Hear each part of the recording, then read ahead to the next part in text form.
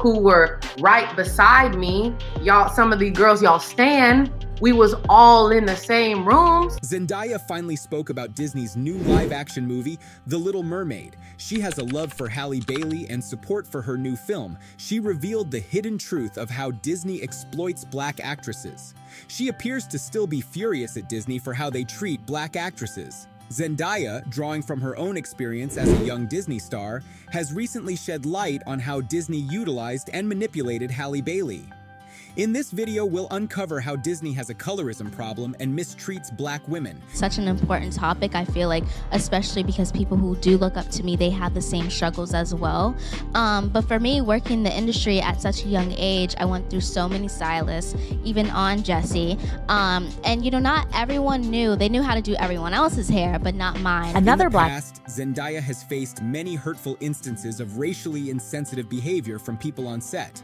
I didn't like my hair and makeup makeup. One time on a photo shoot and my publicist told me you should just be happy with it. They haven't had a black girl on the cover since forever. She's no longer my publicist. Zendaya not only experienced racial insensitivity, but she also had to deal with many other problems. She faced manipulation from Disney, which she has openly talked about. This manipulation came in the form of contracts and obligations imposed on her. She told about how careful she is in reading contracts, she doesn't trust a lawyer or anyone, and she even writes in a notebook to understand everything. So one thing she made clear is reading the contract and documents completely. They can be a trap or a bad situation for someone. Zendaya gained rapid popularity through her role as Rocky Blue in the Disney Channel series Shake It Up. The show aired from 2010 to 2013 and followed the lives of two best friends, Zendaya and Bella Thorne, who pursue their dreams of becoming professional dancers on a local television show called Shake It Up Chicago.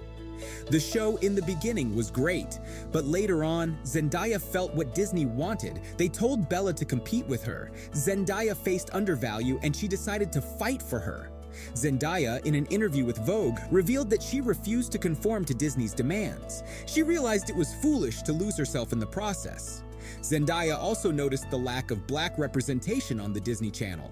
At just 16 years old, she took matters into her own hands and met with Disney executives, demanding that her show, K.C. Undercover, should focus on a family of color and diversity. Slowly, I realized that was stupid. People think I'm cool when I'm Zendaya, Zendaya told to Vogue. Zendaya has openly discussed feeling undervalued by organizations like Disney. She advised against settling for less than what one deserves. Fans speculated that this was directed towards Disney, as she fought for creative control on the show K.C. Undercover. In one of her interviews, Zendaya mentioned her experience and perspective on the matter. In 2019, there was a big controversy when Disney announced that a young black woman would star in the live-action remake of The Little Mermaid. Many people speculated that Zendaya would play the lead role, but she has denied these rumors. Zendaya recently spoke out, revealing how Disney used and manipulated Halle Bailey at the beginning of the casting process. The announcement faced backlash, and Disney did not mention any specific name in their statement. Now the movie has finally been released. Before its release, there was a lot of controversy on social media about casting Halle Bailey as Princess Ariel. People flooded Twitter with racist and disgusting comments about Halle using the hashtag NotMyAriel. After the movie came out, these individuals posted negative reviews on websites like IMDb and Rotten Tomatoes. IMDb even acknowledged unusual voting activity for the movie. Coco Jones, another black actress, felt disappointed by Disney. She spoke openly about the ongoing struggle of being removed from the show, but that wasn't her only challenge. As a child actor on Disney sets, she faced the additional burden of being overworked. She would spend over 15 hours every day on set. It just feels like a lot of growth. I mean, I'm grateful for my Disney past. I, I love it. It's made yes. me who I am. Yeah. And then I feel like I kind of have a leg up because I know how it goes in this industry. And I've been on sets for 15 hours since I was a kid. So it's nothing new to me the hustle um, and just how the industry moves. So I'm grateful for that. Mm -hmm. um, she gained recognition in Disney's 2012 film Let It Shine, which became a popular Disney Channel movie that year. Have you seen the movie yet? Uh, yeah, like 12 times. Good for you. you. Good for you. Yeah. So is there one scene that stands out that you're really excited for viewers to see? I think I'm really excited for everybody to see. Of course, the finale scene with all that energy. I hope it makes everybody smile and make them really want to let their light shine. Fans anticipated a sequel, but Disney unexpectedly decided to cancel it. In a video on her YouTube channel, Coco revealed that the sequel, Let It Shine, had already been written before Disney scrapped it. This sudden change took away her entire fan base and left her feeling let down. Over the years, much speculation has suggested that Disney treated Coco unfairly due to their significant problem with dark-skinned actresses. During an interview with Chris Spencer, Raven-Symoné hinted at a concerning incident with Disney.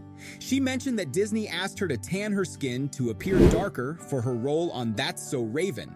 This implies that Disney would pressure an actress with a lighter skin tone to change their appearance, but they would not cast someone who already had naturally dark skin. We still can't believe she had to tan her skin to stay on the show. Isn't it horrifying? There's also the case of Keke Palmer, who came close to becoming a Disney star, but was ultimately overlooked as Disney chose to pick up Miley Cyrus's show, Hannah Montana, instead in August 2020.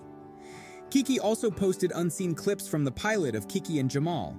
Funny how Hannah Montana had the same premise as this show, but Keke and Jamal never got picked up one. One fan said, Keke and Jamal had so much potential, but Disney Channel can't stand to see too many shows his black stars on TV. Now coming back to Zendaya, Zendaya is now more confident about her looks, and in her interview with Vanity Fair, she said she is practicing self-love.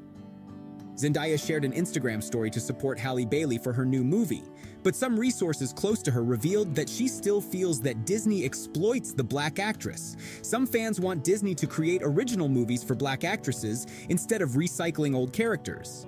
However, many fans think that Disney uses black actresses to create controversy. Obviously, more controversy generates hype, and more hype generate more sale. That's all they just care about money. Do you feel the same?